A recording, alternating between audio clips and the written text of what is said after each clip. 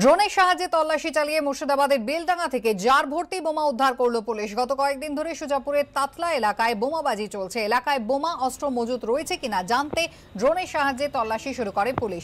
গতকাল বাঁশবাগানের মাটি খুঁড়ে জার ভর্তি বোমা উদ্ধার করে পুলিশ। খবর দেওয়া হয় বম ডিসপোজাল স্কোয়াডকে।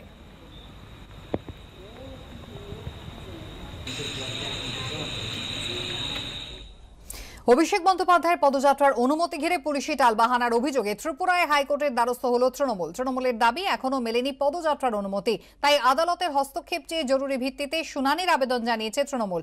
আজ দুপুর দুটোয় রয়েছে মামলার শুনানি। পনেরোই সেপ্টেম্বর ত্রিপুরায় অভিষেক বন্দ্যোপাধ্যায়ের পদযাত্রার অনুমতি চেয়ে তেরোই সেপ্টেম্বর তৃণমূলের তরফে ত্রিপুরা পুলিশকে চিঠি দেওয়া হয়। তৃণমূলের দাবি, পুলিশ জানায় ওই দিন ওই রুটে অন্য রাজনৈতিক সমাবেশ রয়েছে। এরপর ওই দিনই তৃণমূলের তরফে ষোলোই সেপ্টেম্বর পদযাত্রার জন্য অনুমতি চাওয়া হয়। তৃণমূলের দাবি, সেই সময় পুলিশ জানায়, বিশ্বকর্মা পুজোর আগের দিন পুলিশ ও প্রশাসনিক ব্যস্ততা থাকায় পদযাত্রার অনুমতি দেওয়া সম্ভব নয়। এরপর ফের বাইশে সেপ্টেম্বর ত্রিপুরায় পদযাত্রার অনুমতি চাওয়া হয় তৃণমূলের তরফে। আজ বিশে সেপ্টেম্বরও পুলিশের অনুমতি না মেলায় শেষ পর্যন্ত আদালতের দ্বারস্থ হয় তৃণমূল। আদালত চত্বরও কিন্তু জলমগ্ন হয়ে পড়েছে। আর আলিপুর আদালত চত্বরে সেই ছবি তুলে ধরেছেন আমাদের প্রতিনিধি হিন্দোল দে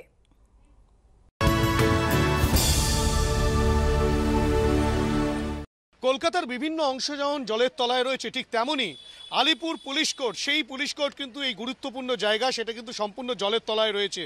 এবং যে কোর্ট রুমগুলো রয়েছে, সেই কোর্ট রুমের বাইরে জল রয়েছে, এবং আইনজীবীদের যেসব সেরেস্তা রয়েছে সেই সব সেরেস্তাতেও কিন্তু কোথাও কোথাও জল জমেছে। আইনজীবীরা রীতিমতো প্যান্ট বেশ খানিকটা গুটিয়ে কিন্তু তাদেরকে আসতে হচ্ছে, কেননা জল এতটাই জমেছে, কোথাও হাঁটু সমান জল পর্যন্ত রয়েছে। কোর্টরুমের বাইরেই জল কোর্টরুমে যাতা যাওয়ার আগে মানে হাঁটু জল এই জলে সবাইকে যেতে হবে। ইভেন জজ সাহেবকেও ওইভাবেই যেতে হবে। মানে কতক্ষণে এই জল মুক্তি না না কতক্ষণে জল মুক্তি বোঝা মুশকিল আছে। কাজকর্ম তো ব্যাহত হচ্ছে। কাজকর্ম ব্যাহত হচ্ছে। গোটা পরিস্থিতি থেকে কতক্ষণে মুক্তি পাবেন তারা তা কিন্তু বুঝে উঠতে পারছেন না। স্বাভাবিকভাবেই সমস্যায় আইনজীবী থেকে শুরু করে এখানে আসা কোর্টে আসা যেসব মানুষজন তারা প্রত্যেকেই সেই সমস্যার সম্মুখীন হচ্ছেন। ক্যামেরা অভিজিৎ দাসের সঙ্গে হিন্দোল দে এবিপি আনন্দ কলকাতা। অন্যদিকে পূর্ব মেদিনীপুরের পটাশপুরের পর কেলেঘাই নদীর জলে প্লাবিত ভগবানপুর এগরা সহ কাঁথি তিন নম্বর ব্লকের বিস্তীর্ণ এলাকা। এর উপর শুরু হয়েছে বৃষ্টি, ফলে জল বাড়ার আশঙ্কা করছেন এই ব্লকের কয়েক হাজার বাসিন্দা। ঋত্বিক প্রধান, আমাদের প্রতিনিধি রয়েছেন আমাদের সঙ্গে টেলিফোন লাইনে। ঋত্বিক, এই মুহূর্তে সাধারণ মানুষকে নিরাপদ জায়গায় সরানোর কি বন্দোবস্ত করা হচ্ছে প্রশাসনের পক্ষ থেকে?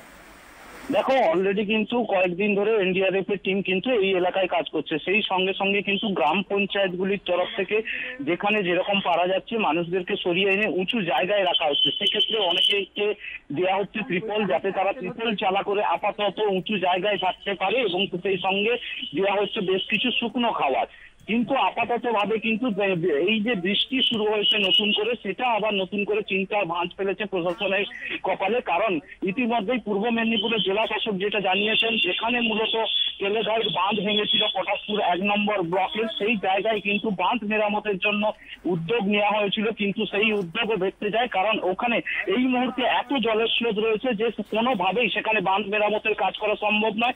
তার ফলে একদিকে যেমন কেলেঘাই দিয়ে এখনও জল ঢুকছে পটাশপুরের মধ্যে তেমনই কিন্তু ওপর থেকে বৃষ্টি অনবরত হওয়ার ফলে ফের নতুন করে বৃষ্টি- দুশ্চিন্তার ভাঁজ পড়েছে প্রশাসনের কপালে। সেক্ষেত্রে আবার বেশ কিছু মানুষজনের বাড়িঘর জলের তলায় যেতে পারে এবং সেই জায়গায় সেই সমস্ত মানুষজনকে উদ্ধারের কাজের জন্য এখন তৈরি প্রশাসন প্রচুর পরিমাণে শুকনো খাবার মজুত করা হচ্ছে এই মুহূর্তে প্রশাসনের তরফে। ধন্যবাদ মালদার রতুয়ায় দশম শ্রেণির ছাত্রীকে তুলে নিয়ে গিয়ে গণধর্ষণের অভিযোগ উঠল তিনজনের বিরুদ্ধে। অভিযোগ দশই সেপ্টেম্বর সকালে টিউশন যাওয়ার সময় ষোলো বছরের কিশোরীকে জোর করে গাড়িতে তুলে নিয়ে যায় তিনজন। মাদক জাতীয় কিছু খাইয়ে বেহুশ করে গণধর্ষণ করা হয় বলে অভিযোগ। পরিবারের দাবি, এরপর নাবালিকাকে গ্রামে ফেলে দিয়ে চলে যায় অভিযুক্তরা। ষোলোই সেপ্টেম্বর রতুয়া থানায় গণধর্ষণের অভিযোগ দায়ের হয়। এই ঘটনাকে কেন্দ্র করে শুরু হয়েছে রাজনৈতিক চর্চা। বিজেপির অভিযোগ, অভিযুক্তরা শাসক দলের ঘনিষ্ঠ হওয়ায় পুলিশ নিষ্ক্রিয়। দুষ্কৃতীদের সঙ্গে দলের কোনো সম্পর্ক নেই, পুলিশ আইনানুক ব্যবস্থা নেবে, প্রতিক্রিয়া তৃণমূলের।